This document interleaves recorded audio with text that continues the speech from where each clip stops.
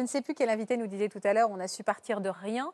Vous aussi, vous êtes parti de rien, Pierre, en fait. C'est vraiment l'histoire d'un self-made man, euh, une, success story euh, que vous avez vraiment euh, euh, enfin, voilà, engendré depuis votre plus tendre enfance. Parce que vos, parents faisaient quoi? Elle ressemblait à quoi, cette enfance Mon papa, il avait, il avait une ferme de, de 7 hectares, donc c'est une toute petite ferme. Et on était à 5 km des écoles, donc c'était en vélo. Et, la, nuit- et quand on allait la neige, et il y avait de la neige, eh bien, il y avait de, euh, dans le garde-boue, et donc avec un bâton, il fallait l'enlever. Ou alors, si on avait la chance qu'une voiture est passée, eh bien, ça facilitait de, de pouvoir rouler. Mais après, euh, euh, à, à l'école, donc euh, j'étais un élève, un élève normal. J'étais dans le milieu. de- Vous vouliez devenir agriculteur comme, comme votre père? Bah, C'est-à-dire qu'à 7 hectares, c'était pas possible. C'était pas possible. Ah, mon papa, il avait des ruches. Et pour ma communion solennelle, il y avait des oncles, des tantes, euh, enfin des, des, des amis, et qui ont donné euh, certains cadeaux, et puis des étrennes. Et avec ces étrennes, j'ai pu m'acheter une ruche. Et l'année d'après, j'ai mis des abeilles dedans. Et Ah. après, j'ai vendu euh, le miel. Vous étiez entre- entrepreneur, en fait. Dans l'âme. Dans l'âme. À 12 ans. Ah ouais, à voilà. 12 ans, vous aviez un vrai esprit d'entrepreneur. Voilà, c'est ça. Et alors, ah, donc vous auriez pu devenir apiculteur? J'aurais pu devenir apiculteur. Et puis j'ai un ami à qui on avait été prendre, euh, prendre le miel dans les ruches et, et qui m'a découragé. Et comme j'avais fait un apprentissage de charcutier, il dit vaut peut-être mieux se développer dans la charcuterie. Donc vous, voyez, vous voilà devenir charcutier. Je suis charcutier, je suis apprenti charcutier. Ensuite, je fais des saisons. euh, euh, je viens travailler à Paris et, et puis j'achète une boucherie charcuterie à 21 ans, À 21 ans, à l'âge de Paul. Où ça, elle était votre à charcuterie Jugerieux. D'accord. Jugerieux dans, dans l'Ain. Et c'est assez terrible ça parce que euh, quand on va euh, faire de la boucherie charcuterie alors qu'on n'est que charcutier. Beau gosse un peu, hein Beau gosse, hein Pardon. hein. Ah oui, j'avais 18 ans à cette époque. Pardon, je vous ai interrompu. Donc vous, Et- étiez, vous aviez votre Et charcuterie puis, euh, euh, ben, on va acheter des, chez les agriculteurs euh, des, des bœufs et il faut les acheter à la bloc. Imaginez le poids qu'ils vont faire. Donc, excusez-moi, Non, je vous en prie.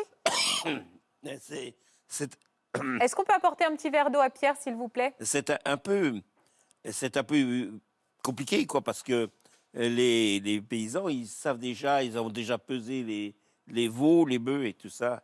Et puis, un an et demi après, merci, merci beaucoup. Et puis un an et demi après, on va arriver avec, euh, euh, vers cette sale- fameuse pardon, salade de museau. Ah, c'est un peu plus tard. Ah, c'est un peu plus tard, Non, d'accord. c'est c'est là où je n'ai. C'est difficile à boucher charcuterie.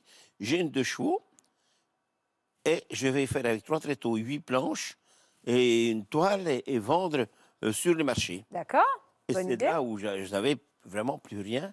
Et puis euh, les marchés ont bien démarré, le J7, et puis euh, un tripier qui vend des museaux de bœuf. Et c'est là où je commence à faire des salades de museaux. Et, et donc. Vous en voilà parlez encore avec gourmandise, mais vous inventez la salade de museau vinaigrette qu'adore Christelle. Ah, j'adore. Vous inventez la salade de museau vinaigrette. Non, museau de bœuf, hein, c'était. Oui, oui, museau de bœuf, j'ai compris, hein. oui.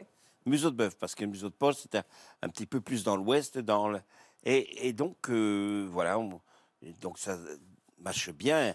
Et, et là, c'est là où je dois vendre mes marchés, arrêter les marchés, pour aller m'installer euh, et, et de faire des museaux de bœuf, euh, des fromages de tête et des tripes, et puis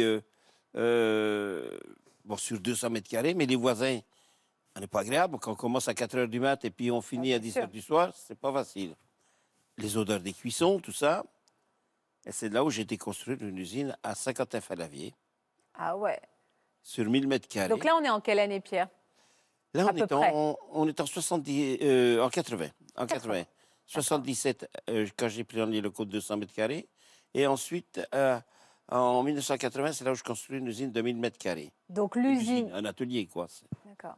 Et donc l'usine euh, cartonne, en fait, ça marche très très bien pour vous. Mais à quel moment vous basculez pour devenir le traiteur Ah, c'est c'est plus tard, ça. C'est donc en 1982, je n'ai plus de museau de bœuf.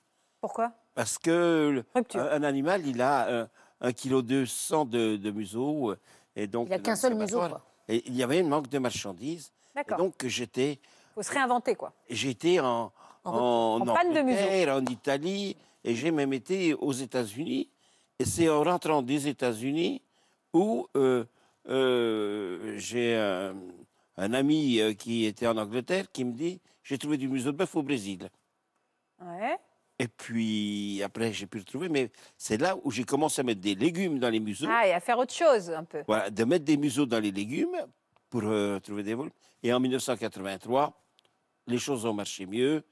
Et euh, euh, j'avais perdu la moitié de ma clientèle, mais j'ai pu reconquérir. Et en 1986, c'est là où j'étais obligé de doubler les- l'usine, c'est-à-dire de 1000 mètres carrés à, 3 à 2000. Et c'est là où j'ai commencé les salades. Voilà. J'adore comment vous. Eh ben voilà, les salades. Non, mais voilà. c'est vrai qu'on vous connaît, euh, on vous connaît euh, beaucoup, beaucoup euh, aussi, pas que à cause de ce museau vinaigrette. Oui, parce que les salades se sont bien développées. Et en 89, il m'a- j'ai fallu un établissement de plus. Ah oui, ça Et donc, j'ai racheté une usine. Et c'est là où je faisais beaucoup plus de salades. Et c'est là où on a livré les, pour les Jeux Olympiques, les, athlètes, Ah. la sécurité, etc. Et en parallèle, vous avez construit votre famille?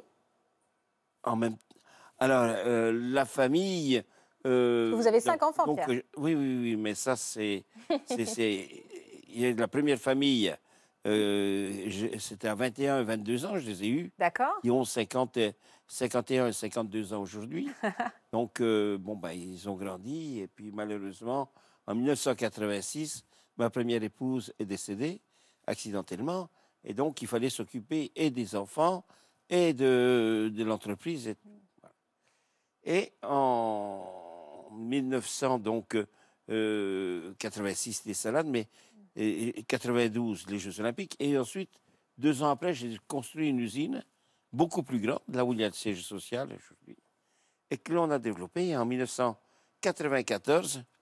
C'est là où on a commencé de la télévision, euh, des relations avec Guy Savoie, des relations aussi avec euh, Frédéric Salman les questions de qualité. Donc, de la qualité, Là, de la qualité. Et là, c'est parti, c'est parti.